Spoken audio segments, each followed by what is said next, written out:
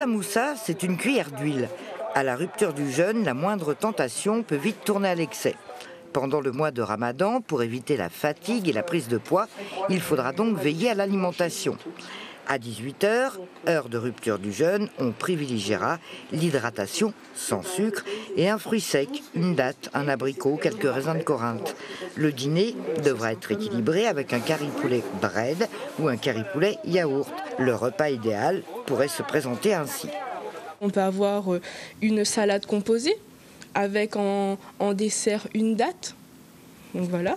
Ensuite, on peut avoir aussi des féculents tels que des, des, beignets de songe. Voilà. Donc le beignet de songe, et oui, c'est gras, on est d'accord, mais accompagné d'une salade composée, c'est le combo parfait. Voilà, c'est ce qui va permettre voilà, de ne pas garder tout le gras en excès.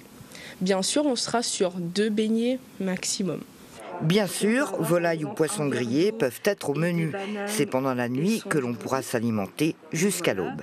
On aura le premier repas pour rompre le jeûne, ensuite on aura un autre repas après la prière et ensuite un repas sous forme de petit déjeuner par exemple pour euh, enfin avant l'aube, avant de reprendre le jeûne.